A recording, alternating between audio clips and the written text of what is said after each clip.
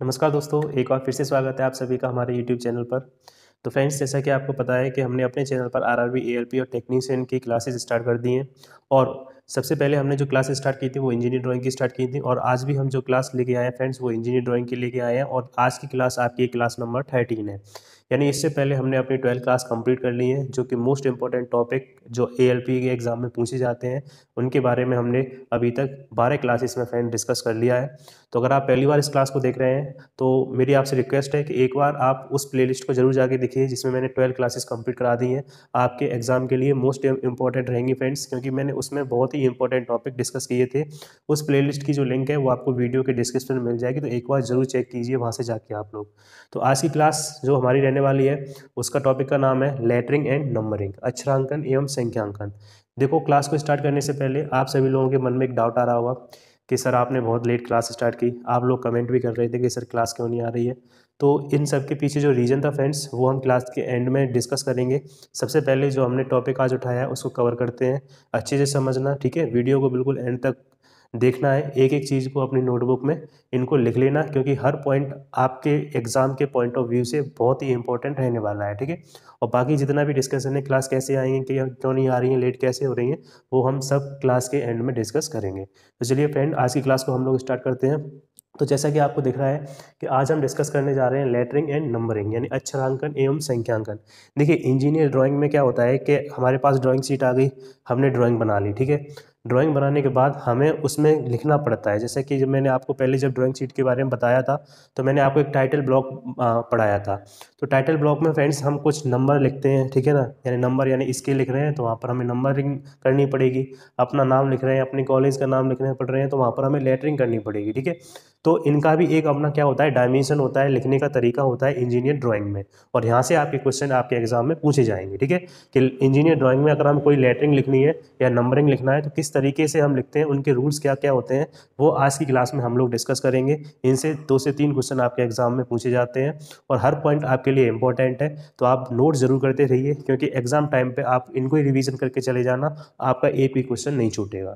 तो चलिए दोस्तों, स्टार्ट करते हैं। देखिए सबसे पहले अक्षरांकन एवं संख्यांकन क्या होता है? ये समझ में आ गया कि हम इंजीनियर ड्राइंग में लेटरिंग एंड नंबरिंग क्यों पढ़ रहे हैं? बिकॉज़ जब हमारे पास ड्राइंग सीट होती है तो ड्राइंग सीट में हमें इनकी आवश्यकता पड़ती है। हम कोई मान लो नाम लिखना है, ठीक है ना? हमने जो ड्राइंग बनाई, उसका नाम लिखना है तो उसका एक तरीका होता है इंजीनियर ड्राइंग में। ऐसे नहीं कि अब अपनी मन से जो आया और उसी साइज़ में लिख दिया तो वो इंजीनियर ड्राइंग में गलत माना जाता है, ठीक है? तो कहने का मतलब ये है कि जैसे आपकी ए बी सी डी है वन टू थ्री फोर है, यानी कि अल्फ़ाबेट हो गए नंबर्स हो गए, इनको लिखने का तरीका अलग अलग होता है। कुछ स्ट्रेट लिखे जाते हैं, कुछ तिरछे झुका के लिखे जाते हैं, कुछ सीधे लिखे जाते हैं। तो इंजीनियर ड्राइंग में इन सब का अपना एक अलग अलग तरीका होता है, ठीक है ना? अब उन तरीक़ों में क्या क्या कंडीशंस होती हैं, वहाँ से हमारे एग्ज़ाम में क्वेश्चन पूछे जाते हैं, ठीक है?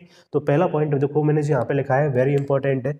यहाँ से कई बार आपका एक क्वेश्चन पूछा गया है। क्वेश्चन क्या पूछा गया है कि लेटरिंग में बीआईएस के अनुसार तिरछे अक्षरों के लिए मानक कोड कितने डिग्री का होता है? सेवेंटी फाइव डिग्री का। ठीक है ना?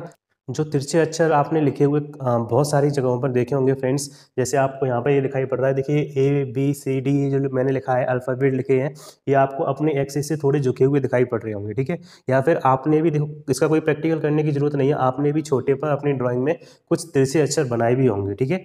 तो वो जो तिरछे अक्षर झुके हुए होते हैं उनका एक अपना स्पेसिफिक एंगल होता है ठीक है? बीआईएस के अनुसार बी का आ, मतलब क्या होता है? ब्यूरो ऑफ़ इंडियन स्टैंडर्ड मैंने आपको समझाया था कि इंजीनियर ड्राइंग में जितनी भी डायमेंशनिंग होती है उनको डिसाइड करने का जो ज़िम्मेदारी होती है वो इसकी होती है बीआईएस की ठीक है? तो बीआईएस के अनुसार अगर हमें इंजीनियर ड्राइंग में कोई भी अच्छा तिरछा बनाना है तो उसको बनाने के लिए कितने डिग्री एंगल पर हमें उसे झुकाना पड़ता है ये क्वेश्चन आपके एग्ज़ाम में कई बार पूछा गया है। तो आपको याद रखना है उसको हम कितने डिग्री पर झुकाते हैं? सेवेंटी डिग्री पर ठीक है ना? जब भी वो झुका हुआ होगा तो सेवेंटी फाइव डिग्री पर जैसे फॉर एग्ज़ाम्पल जैसे मैं देखो यहाँ पर बी बना रहा हूँ। ये देखिए बी अपने एक्सिस पर क्या है? झुका हुआ है, ठीक है? जैसे अगर हम एक लाइन यहाँ से खींचें, एक लाइन यहाँ से खींचें, ठीक है? तो देखिए, होना चाहिए था इसे ऐसे करके सीधा बट ये अपने एक्सिस से क्या है? झुका हुआ है। तो अगर हम इस लाइन को स्ट्रेट खींच दें फ्रेंड्स ऐसे करके तो जो ये एंगल होता है ना फ्रेंड ये एंगल ही होता है सेवेंटी फाइव डिग्री का, ठीक है? ये दोनों एंगल कितने के होते हैं? सेवेंटी फाइव डिग्री की। तो इसका मतलब क्या हुआ कि जो तिरछे एंगल होते हैं, उनको हमें कितने डिग्री पर झुकाना पड़ता है? तो आपको याद रखना है, सेवेंटी फाइव डिग्री पर झुके हुए होने चाहिए वो, ठीक है? तो पहला पॉइंट आपका समझ में आ गया होगा कि लेटरिंग में बीआईएस के अनुसार तिरछे अक्षरों के लिए मानव कोड कितने डिग्री डिसाइड किया गया है? सेवेंटी डिग्री आपके एग्ज़ाम के लिए इंपॉर्टेंट है। अब आइए देखिए नेक्स्ट जो टॉपिक है, वो है टाइप्स ऑफ़ लेटरिंग यानी इंजीनियर ड्राइंग में हम जो अक्षरांकन करते हैं, वो कितने तरीके से करते हैं, ठीक है? सीधा क्वेश्चन पूछ लिया जाएगा कि अक्षरांकन कितने तरीके से इंजीनियर ड्राइंग में किया जाता है। तो आपको याद रखना है, अक्षरांकन दो तरीके से इंजीनियर ड्राइंग में किया जाता है, ठीक है? उन दोनों के नाम याद रखने हैं। पहला होता है सिंगल स्ट्रोक लेटर्स ठीक है? और दूसरा होता है डबल स्ट्रोक लेटर ठीक है? यानी इस जो लेटर कुल मिला के हम ये बोल सकते हैं कि लेटर ही दो टाइप के होते हैं। एक होता है सिंगल स्ट्रोक लेटर और दूसरा होता है डबल स्ट्रोक लेटर ठीक है? अब इन दोनों में फ़र्क क्या होता है, ये होते क्या है? देखिए, मैंने यहाँ पर इंग्लिश में नाम लिखा है, इनका हिंदी में भी नाम यही है। सिंगल मतलब एक एक स्ट्रोक लेटर डबल मतलब दो दो स्ट्रोक लेटर ठीक है? तो आप ये कंफ्यूज मत होना कि सर हिंदी में नाम क्या है, हिंदी और इंग्लिश में दोनों में नाम एक ही है, ठीक है? तो सिंगल स्ट्रोक लेटर और डबल स्ट्रोक लेटर ये क्या है? टाइप्स ऑफ़ लेटरिंग ठीक है? लिखने के जो तरीके होते हैं, वो दो होते हैं, एक सिंगल स्ट्रोक होता है, एक डबल स्ट्रोक होता है। जनरली क्या होता है कि बच्चे के दिमाग में ये बात बैठ जाती है कि सिंगल स्ट्रोक का मतलब ये होता है कि पेंसिल जो पेंसिल होती है, उसको एक बार बिना उठाए पूरा लेटर लिख दो तो वो सिंगल स्ट्रोक हो गया। और डबल स्ट्रोक का मतलब ये होता है कि एक लेटर पर पेंसिल दो बार घुमा दो तो वो डबल स्ट्रोक हो गया, जबकि ऐसा बिल्कुल नहीं होता है, ठीक है? तो आपको याद रखना है सिंगल स्ट्रोक का मतलब क्या होता है? डबल स्ट्रोक का मतलब क्या होता है? ये आपको अच्छे से समझना है, यहाँ से आपके क्वेश्चन आपके एग्ज़ाम में पूछा जाएगा। तो देखिए, सबसे पहले single stroke letter single stroke letter के बारे में हम समझते हैं। सिंगल स्ट्रोक लेटर क्या होता है? पहला पॉइंट दिया है, यह अक्षर का सिंपलेस्ट फॉर्म होता है। यानी कोई भी अगर आप लेटरिंग कर रहे हो तो उसकी जो सबसे सिंपलेस्ट फॉर्म होती है, उसको हम सिंगल स्ट्रोक कहते हैं। कहने का मतलब ये है कि जो आप जनरली अपने हाथ से अभी जैसे प्रेजेंट में आप बैठे हो, अपनी नोटबुक पर लिख रहे हो जैसे आपने लिखा सिंगल स्ट्रोक लेटर तो आपने जो लिखा है ना फ्रेंड वो सिंगल स्ट्रोक लेटर में ही लिखा है। जनरली जो हम अपने लाइफ में जो लेटर इस्तेमाल करते हैं, वो सिंगल स्ट्रोक लेटर होते हैं। यानी कि सिंगल स्ट्रोक लेटर एक तरीके से सबसे सिंपलेस्ट फॉर्म होती है, जैसे हमने ऐसे फ्री हैंड से लिखती है ए तो ये हमारा सिंगल स्ट्रोक लेटर है, ठीक है ना? क्यों? क्योंकि ये एकदम सिंपलेस्ट फॉर्म है। इसमें ना कोई हमने डायमेंशनिंग की है, कुछ भी नहीं की है। तो जो सिंपलेस्ट फॉर्म होती है, उसी को हम क्या बोलते हैं? सिंगल स्ट्रोक लेटर तो क्वेश्चन अगर आपसे ये पूछा जाए कि लेटर की सबसे सिंपलेस्ट फॉर्म कौन सी होती है तो आपका आंसर होगा सिंगल स्ट्रोक लेटर उसके बाद दूसरा पॉइंट आपको याद रखना है, इसमें सभी अक्षरों की मोटाई समान होती है। यानी कि सिंगल स्ट्रोक में आप जितने भी लेटर लिखोगे फ्रेंड्स इंजीनियर ड्राइंग में, उन सब की जो मोटाई या फिर थिकनेस कैसी होती है सेम होती है। ऐसा नहीं है कि आप एक बहुत ज़्यादा थिक कर रहे हो और दूसरे लेटर को बिल्कुल पतला बना रहे हो, ठीक है? तो ऐसा नहीं होना चाहिए। जब भी आप सिंगल स्टॉक में कोई भी लेटर लिखोगे तो सभी लेटरों की जो मोटाई है थिकनेस है, वो कैसी होनी चाहिए? सेम उसके बाद तीसरा वेरी वेरी इंपॉर्टेंट पॉइंट इसे आप इंपॉर्टेंट डाल लेना। यहाँ से कई बार क्वेश्चन आपका पूछा गया है। पूछा गया है कि इसमें अक्षरों का जो अनुपात होता है, वो सात अनुपात चार और सात अनुपात पाँच होता है, ठीक है? अब ये अनुपात क्या होता है? सात अनुपात चार क्या होता है? सात अनुपात पाँच क्या होता है? तो देखिए, मैंने नीचे समझाया है। सात अनुपात चार, ये अनुपात होता किसका है? तो ये अनुपात होता है एच और डब्लू एच का मतलब क्या होता है? ऊंचाई। ऊंचाई और चौड़ाई, यानी कि हाइट और विथ ठीक है ना? हाइट और विथ का जो अनुपात होता है सिंगल स्ट्रोक लेटर में, वो फ्रेंड्स होता है सेवन अपॉन फोर या फिर सेवन अपॉन फाइव ठीक है? कोई एक भी आ सकता है सेवन अपॉन फोर या सेवन अपॉन फाइव ठीक है? तो आपको याद रखना है, कई बार पेपर में क्वेश्चन पूछा गया है कि जो सिंगल स्ट्रोक लेटर होते हैं, उसमें यही क्वेश्चन अगर आपका सिंगल स्टॉक से क्वेश्चन देगा तो वो यहीं से देगा हंड्रेड परसेंट आप लिख लीजिए। क्वेश्चन में ये पूछेगा कि सिंगल स्टॉक लेटर में लेटर की हाइट कितनी होती है, या हाइट और विर्थ का रेशियो क्या होता है? तो आपका आंसर होगा सेवन रेशियो फोर अगर सेवन रेशियो फोर ऑप्शन में नहीं है तो सेवन रेशियो फाइव होगा। इन दोनों में से कोई एक आपको ज़रूर देगा, ठीक है? तो हाइट और विर्थ का जो रेशियो होता है फ्रेंड वो सात और चार या सात और पाँच होना चाहिए। अब अगर आपको ये समझ में नहीं आया, कोई दिक्कत नहीं, यहाँ पर आप समझ जाओगे एग्ज़ाम्पल ध्यान से देखना। जैसे मैंने यहाँ पर देखो तीन अक्षर लिखे ए बी और ई e.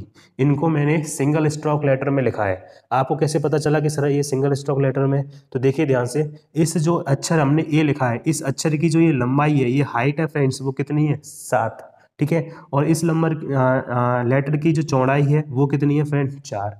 ऐसी देखिए ई e है, इस लेटर की जो लंबाई है या हाइट है वो कितनी है? सेवन और इसकी जो चौड़ाई है वो कितनी है? चार। तो जिस लेटर की भी हाइट सेवन और चौड़ाई चार या पाँच होती है तो वो सारे लेटर सिंगल स्ट्रोक लेटर कहलाते हैं, ठीक है? तो इस पूरे टॉपिक में सबसे इंपॉर्टेंट पॉइंट आपका यही है कि सिंगल स्ट्रोक लेटर में जो लेटर्स होते हैं, उनकी हाइट और विर्थ का रेशियो कितना होता है तो आपका आंसर होगा सेवन रेशियो फोर या सेवन रेशियो फाइव ठीक है? और ये रेशियो होता क्या है तो वो मैंने आपको समझा दिया जैसे बी है। तो इस बी की अगर अगर आपको सिंगल स्टॉक में लिखना है तो इसकी लंबाई कितनी रखनी पड़ेगी? सात एम mm और इसकी चौड़ाई कितनी रखनी पड़ेगी? चार रख लो या फिर पाँच एम mm रख लो, ठीक है ना? तो अगर आपने लंबाई सात एम mm कर दी और चौड़ाई पाँच एम mm कर दी तो ये सिंगल स्ट्रोक लेटर बन जाएगा आपका। क्लियर हुआ? तो कहने का मतलब ये है कि अगर आप एक चीज़ देखो तो लंबाई ज़्यादा है और चौड़ाई कम है, ठीक है? यानी अक्षर एक तरीके से पतला बनेगा आपका, ज़्यादा मोटा नहीं बनेगा, ठीक है ना? तो इस वजह से जो सिंगल स्ट्रोक लेटर होते हैं, उनको सिंपलेस्ट फॉर्म कहा जाता है। सभी अक्षरों की मोटाई समान होती है। साथ ही साथ इसमें जो ऊंचाई और चौड़ाई का रेशियो होता है, वो सात रेशियो चार या फिर सात रेशियो पाँच होता है। क्लियर हुआ यहाँ तक कि सिंगल स्टॉक लेटर क्या होता है? कोई भी क्वेश्चन है, कमेंट करके बता देना, मैं उसको आपको रिप्लाई कर दूँगा, ठीक है? तो चलिए अब बढ़ते हैं। नेक्स्ट टाइप जो टाइप नंबर सेकंड था double stroke letter double stroke letter क्या होते हैं? तो समझना ध्यान से। देखिए डबल स्ट्रोक लेटर का जो दूसरा नाम होता है, उसको आप समझ जाइए। गोथिक लेटर कहा जाता है। गोथिक लेटर और हिंदी में भी गोथिक बोलते हैं डबल स्टॉक लेटर को। जैसे देखो डबल स्टॉक लेटर आपको समझ में नहीं आएगा बट अगर आपने गोथिक लेटर जैसी पढ़ा तो ये आपके दिमाग में आ जाएगा। क्यों? क्योंकि गोथिक लेटर आपने कई जगह पढ़ा होगा। गोथिक लेटर आप जब कंप्यूटर में टाइपिंग करते हो तो वहाँ पर जो फॉन्ट आते हैं तो एक फॉन्ट होता है कि नहीं, होता गोथिक ठीक है? और जब आप उस गोथिक फॉन्ट का इस्तेमाल करते हो तो आपने देखा होगा कि जो आपका लेटर होता है फ्रेंड वो बोल्ड हो जाता है। बोल्ड का मतलब उसकी थिकनेस बढ़ जाती है, वो दिखने में इस तरीके का बनने लगेगा, ठीक है? जैसे यहाँ पर ए इस तरीके से दिख रहा था, यहाँ ए इस तरीके से डार्क यानी कि कैसा हो जाएगा बोल्ड फॉर्म में आ जाता है। तो यही होती है हमारी डबल स्ट्रोक लेटर ठीक है? तो डबल स्टॉक लेटर ही क्या होता है? गोथिक लेटर होता है। यानी जब भी हम कोई भी लेटर डबल स्टॉक में लिखेंगे तो उसकी पहचान ये होगी कि वो आपको बोल्ड दिखाई पड़ रहा होगा या फिर डार्क दिखाई पड़ रहा होगा, उसकी थिकनेस बहुत ज़्यादा होगी, ठीक है ना? तो दोनों में फ़र्क आप तुरंत पहचान लोगे। अगर आपके पास क्वेश्चन ऐसे आ जाए कि कुछ अल्फ़ाबेट लिख के दे दे, जिसमें आपके कुछ सिंगल स्टॉक से लिखे और कुछ डबल स्टॉक से लिखे तो आपको पहचानने में कोई दिक्कत नहीं होगी, ठीक है?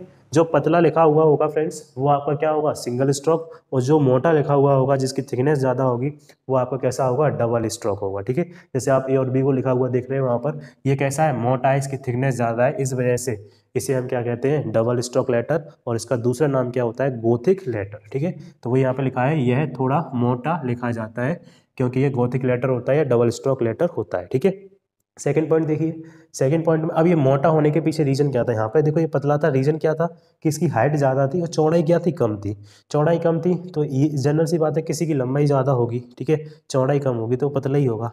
कोई लड़का है, लंबाई ज़्यादा है और चौड़ाई उसकी कम है तो जनरल सी बात है वो पतला होगा और यहाँ पर इसका उल्टा हो जाता है। उसकी हाइट तो बहुत कम कर देते हैं बट मोटा ज़्यादा कर देते हैं तो जनरल सी बात है वो कैसा हो जाएगा बोल्ड हो जाएगा या फिर उसकी थिकनेस क्या होगी, बढ़ जाएगी। तो वही देखिए यहाँ पर सेकेंड पॉइंट में लिखा है कि इसमें अक्षरों की मोटाई, अक्षरों की ऊँचाई के एक अपॉन पाँच से एक अपॉन दस के बराबर होती है, ठीक है ना? यानी यहाँ कोई फिक्स नहीं है, ऊंचाई मोटाई कितनी भी होगी। जैसे अगर आप यहाँ बोल रहे हैं अक्षरों की ऊंचाई, ठीक है ना? वो अक्षरों की मोटाई, अक्षरों की ऊंचाई के एक एक अपन पाँच से एक अपन दस, यानी कहने का मतलब ये है कि जो विर्थ होता है वो फ्रेंड्स हाइट का एक बटे पाँच या फिर एक अपॉन दस होता है, ठीक है ना? कि जो विर्थ होता है, चौड़ाई होती है, वो ऊंचाई का एक बट्टे पाँच, अगर ऊंचाई अगर आप दस लोगे तो विर्थ कितनी लेनी है? दो लेनी है, ठीक है ना? ऊंचाई अगर आप बीस लोगे तो विर्थ कितनी लेनी है? दो लेनी है। तो ये तरीका होता है रेशियो होता है किसका? विर्थ और हाइट का किसमें डबल स्ट्रोक लेटर में। क्लियर हुआ यहाँ तक? तो डबल स्ट्रोक लेटर में कोई भी दिक्कत नहीं है। आप देखते ही पहचान लोगे कौन सा लेटर डबल स्ट्रोक है, कौन सा सिंगल स्ट्रोक ठीक है? अब मैंने देखा कुछ इंपॉर्टेंट पॉइंट लिखे हैं यहाँ पर। ये आपके एग्ज़ाम में पूछे गए हैं, तीन चार पॉइंट है।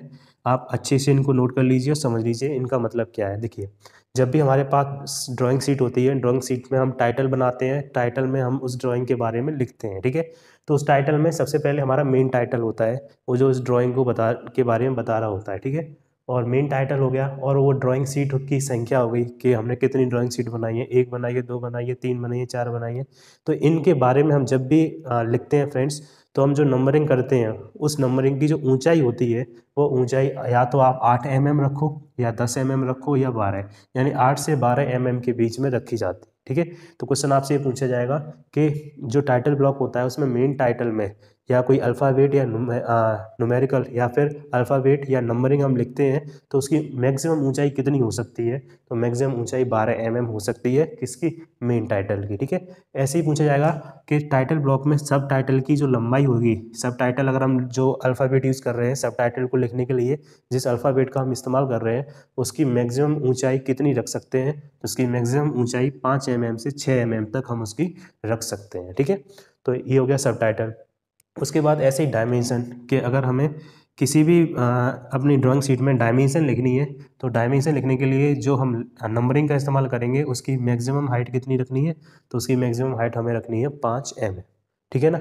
ऐसी अगर हमें कोई स्केल बतानी है तो स्केल के लिए भी हम जिस लेटरिंग का या फिर अल्फ़ाबेट का यूज़ करेंगे फ्रेंड्स उसकी भी मैक्सिमम ऊंचाई हमें कितनी रखनी है? पाँच एम रखनी है। ठीक है? तो ये था सारे का सारा लेटरिंग और नंबरिंग ठीक है? जहाँ से आपके एक या दो क्वेश्चन पूछे जाते हैं मेनली यहीं से हाइट और रेशियो से क्वेश्चन आपके इसमें पूछे जाते हैं, ठीक है? तो इसके बाद ये तो टॉपिक आपका कंप्लीट हो गया, इसके बाद एक छोटा सा टॉपिक और बचा है डायमेंशनिंग ठीक है? वो मैं आपका नेक्स्ट क्लास में लूँगा। इस क्लास में अभी नहीं ले रहा हूँ, क्योंकि अभी मुझे थोड़ी आपसे बात भी करनी है। तो जो इसके बाद टॉपिक होगा डायमेंशनिंग करने का तरीका क्या होता है, वो आपकी नेक्स्ट क्लास जो क्लास आएगी, उसमें आपको देखने को मिलेगा, ठीक है? तो अभी तक यहाँ तक कोई डाउट हो आपका तो आप कमेंट करके हाँ देखिए, एक पॉइंट ये और रह गया। इस पॉइंट को और समझ लीजिए। इसमें लिखा है कि जो आपका सिंगल स्ट्रोक लेटर होता है, इनको लिखने के लिए हम किस पेंसिल का इस्तेमाल करते हैं? एच और एच बी ग्रेड की पेंसिल का प्रयोग होता है, ठीक है? इंपॉर्टेंट पॉइंट डाल लीजिए ये भी, क्योंकि पूछा गया था तो मैंने यहाँ पर ये लिखा था। कि जो आपका सिंगल स्टॉक लेटर होते हैं, उन सिंगल स्टॉक लेटर को लिखने के लिए हम किस ग्रेड की पेंसिल लेते हैं? तो याद रखना है एच और एच बी ग्रेड की पेंसिल लेते हैं, ठीक है? अब ये ग्रेड क्या होती है? ये सारी मैंने आपको पिछली क्लासेस में बता दी थी, आप जाकर वहाँ पर देख सकते हो, ठीक है? तो जब याद, ये पॉइंट दिमाग में नोट कर लेना आप कि सिंगल स्ट्रोक के लिए एच और एच बी ग्रेड की पेंसिल का इस्तेमाल होता है, ठीक है? तो ये थी आज की हमारी क्लास कोई अगर डाउट बचा हो तो आप कमेंट करके बता सकते हो। अब आते हैं अपने नेक्स्ट जो मुद्दा था कि हम क्लास क्यों नहीं ले पा रहे हैं, या फिर हमने इतनी लेट क्लास क्यों ली, और या फिर रेगुलर क्लास हमारी क्यों नहीं आ रही है?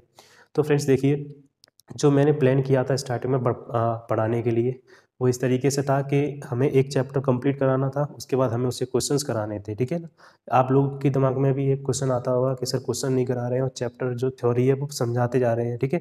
तो ऐसा नहीं है मैं क्वेश्चन नहीं करा रहा हूँ, मेरे पास क्वेश्चन सभी सेट रखे हैं पीडीएफ बना के भी रख लिए हैं।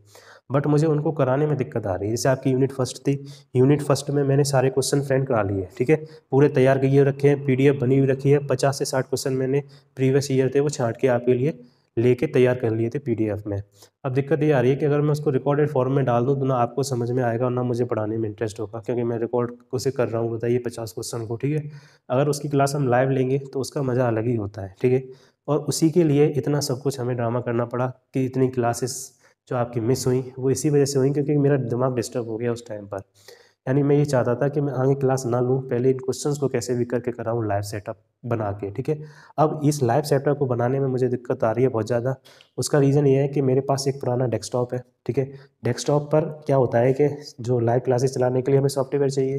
अब हमारा जो डेस्कटॉप है, ये पुराना है। अब इस पुराने डेस्कटॉप में वो सॉफ्टवेयर चल नहीं रहा है। उसके लिए मैंने तीन चार, तीन से पाँच हज़ार रुपये खर्च कर दिए उसमें बट वो फिर भी सेटअप वहाँ पर नहीं बन पा रहा है डेस्कटॉप पर यानी कि हमें लाइव क्लास अगर अगर चलानी है तो हमारे पास चाहिए लैपटॉप और लैपटॉप हमारे पास है नहीं है फ्रेंड्स और ना मेरे पास इतने पैसे हैं कि मैं लैपटॉप को परचेज़ कर सकूँ।